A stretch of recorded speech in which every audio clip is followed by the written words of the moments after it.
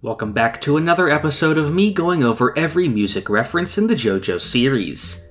This time we're taking a look at Part 5, Vento Aureo, also known as Golden Wind. Part 5 is actually a bit shorter compared to Part 4, but that doesn't mean there'll be any less to talk about. In fact, I think Part 5 has some of the all time best when it comes to music references, and there's actually quite a bit of nice trivia to get into this time. One thing I should note though is that unlike Part 4, from here on out there was little to no official confirmation for the references. So we won't have access to the Shueisha Jump remix listing them all out neatly. That doesn't matter too much since almost every reference is pretty obvious, but it does make it harder to verify some of the trickier ones. We'll tackle that once we get to it though, so let's get right into the first reference. Our first reference comes with Giorno's stand Gold Experience, based on the Prince album The Gold Experience. Late in the story, we actually get some bios for the characters going over their likes and dislikes, including their music taste. In Giorno's bio, it says that his favorite musician is the guitarist Jeff Beck, a favorite of Araki. Next is something that isn't a direct reference, but a genre of music that influenced the part. Araki said that while writing Part 5, he began listening to gangster rap to help develop the atmosphere of the part and its protagonists. One example he gives is Snoop Dogg's album Doggy Style, which he has actually kept in his personal music collection years later. In this 2013 TV special, Araki shows it off alongside albums from Mariah Carey and Prince. Next is the character Leaky Eye Luca. In my old series, I listed him as a reference to the song Luca by Suzanne Vega, However, as I've gone over before, this is unconfirmed. Luca is a pretty common name, and if he were a reference, it would be pretty much the only one with an actual name reference in this part, since most of Part 5's casts are named after various types of Italian food or drink. So for this one, we really can't be sure, and it's possible it isn't a reference. Next is Bucciarati's stand Sticky Fingers. It's based on the album of the same name by the Rolling Stones. For some reason, I've gotten a lot of comments over the years saying it's actually a reference to the American rapper Sticky Fingers. I can't really see what would lead people to think this other than it kind of sounding like how the stand's name is said in the anime. In this case, though, we actually do have official confirmation of the reference. In the JoJo Veller stand commentaries, Araki mentions that the stand is a reference to the album, and that its zipper ability is inspired by the album cover itself, which famously featured a functional zipper on the front. While we're on the subject of Bucciarati, the iconic scene where he licks Giorno to taste if he's lying may also have an inspiration. It may be based on the fact that the Rolling Stones' logo prominently features a tongue. In Bruno's bio, his favorite music is said to be the albums Agartha and Bitches Brew by the jazz musician Miles Davis. On the cover of a 1996 issue of Weekly Shonen Jump containing the fifth chapter, we can see a group of Jump manga creators in a photo shoot pictured next to their creations. Next to Araki is an original illustration of Giorno. The pose here seems to be based on this photo of Prince from a 1995 photo shoot with Versace. Polpo's stand Black Sabbath is named after the English heavy metal band Black Sabbath. The scene where Polpo bites off his own fingers may be a reference to the guitarist of Black Sabbath, Tony Iommi, who lost the tips of his middle and ring finger as a teenager.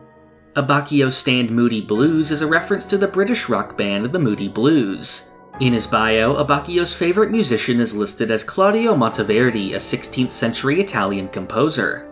Mario Zucchero's stand was Soft Machine, based on the British rock band Soft Machine.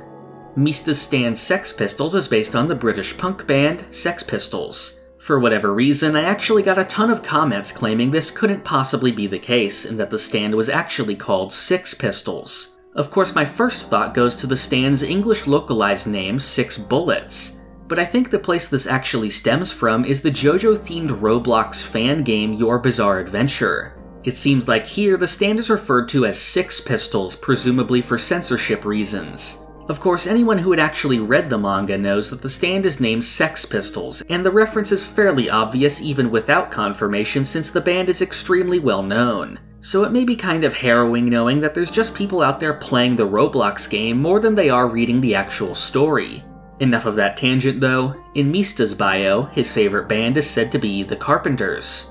Sale's stand Kraftwerk is named after the German electronic band Kraftwerk.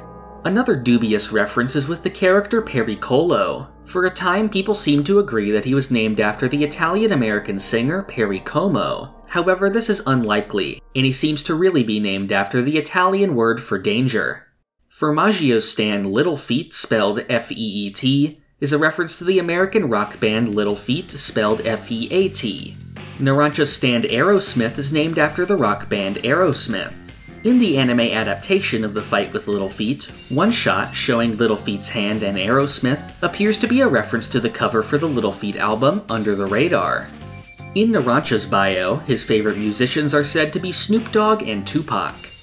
Illuso's stand Man in the Mirror is a reference to the Michael Jackson song of the same name. The stand's name in the English localized version is Mirror Man, possibly a reference to the song Mirror Man by the Human League.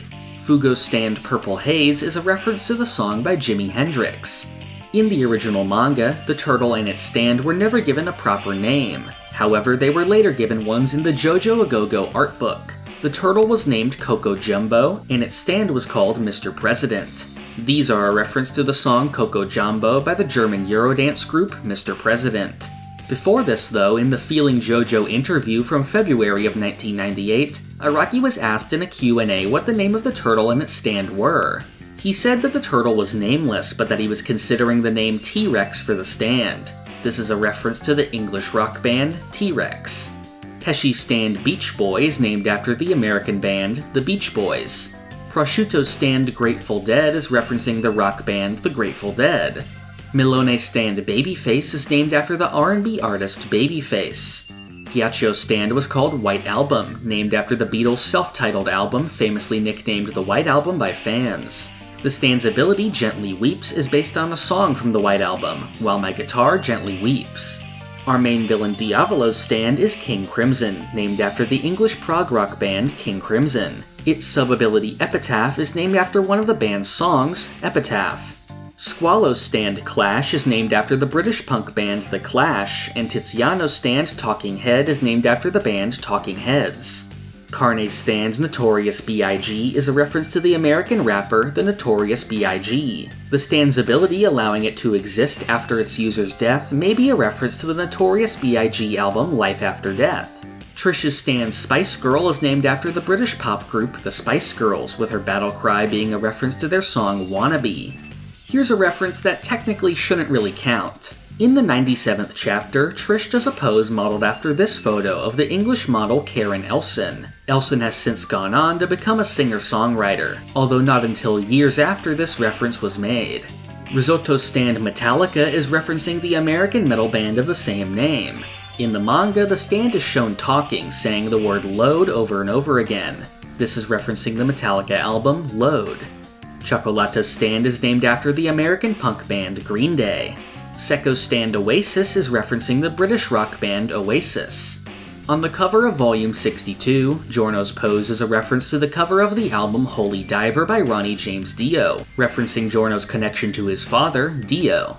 The stands Chariot Requiem and Gold Experience Requiem are named after Mozart's Requiem in D minor. Araki confirms this connection in one of the Jojo Veller stand commentaries. He says that Mozart began writing Requiem after getting a commission from a mysterious visitor whose gender is also unknown. He says that he designed Chariot Requiem based on this, giving it a mysterious and androgynous appearance. Scolippi's stand Rolling Stone is named after the band The Rolling Stones. Finally, we have the anime's credits themes. First, we have the song Freakin' You by the American R&B group Jodeci, when selecting a song for the credits theme, the anime staff asked Araki which one they should use. He told them it should be gangster rap like the kind that inspired the part and sent a list of songs that could fit. One of them was Freakin' You, and while it wasn't really gangster rap and was slower paced, they thought the song fit well and chose it. Araki said that Jodeci are great singers and that it was also fitting since one of the members of the group is nicknamed JoJo. Its second credits theme is the song Modern Crusaders by Enigma, referencing the similarities between parts 3 and 5. The band Enigma had also been previously referenced in part 4 with the stand Enigma. And that's every music reference in part 5. Just like part 4, this one has some of my favorites when it came to references. And I think I was actually able to get into a lot of interesting background info for some of the topics. Next time, we'll be moving on to part 6, a part full of some very interesting and varied references, including some I've never covered before. If you're looking forward to it, I hope that you'll subscribe and click the bell to be notified when I upload. You can also join the Hamon Beat Discord to get updates on new videos and important JoJo news. I'd also appreciate if you help support the channel on Patreon. You can receive Discord perks as well as the opportunity to submit questions.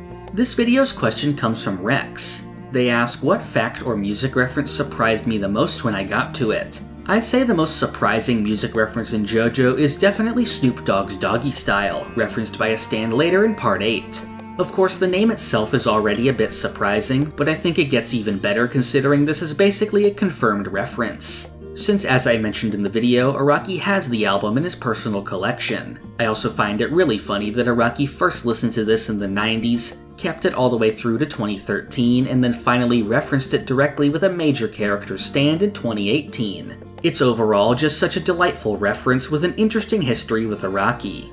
If you want to submit a question, you can become a patron at any tier and post them in the member chat on the Patreon mobile app or DM them to me directly. Due to a change in Patreon's community post system, all the old questions were deleted.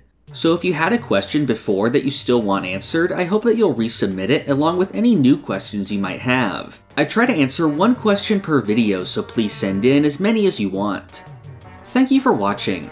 This is the part of the video where I thank my $5 and up patrons. Thank you to Sloth Dog, Doorbell, Crayon, Rigo Vids, Zucato, Pumpkin Doge, Marrow, Almighty Quarth, Gatling Grove, Lime Jinjo, Sponge Cake, Cakext, Feliciano Rabaja, Rayana Meme, Christian McDonough, Emmanuel Etienne, Pulse Dog, Great Riek, Carmotrina, Zach Greenfield, FIFO, Rob Goliath, Jacob Smith, Ryan Ramirez, Big T, C Manga, Minty, Gold, Darko, and Jolene.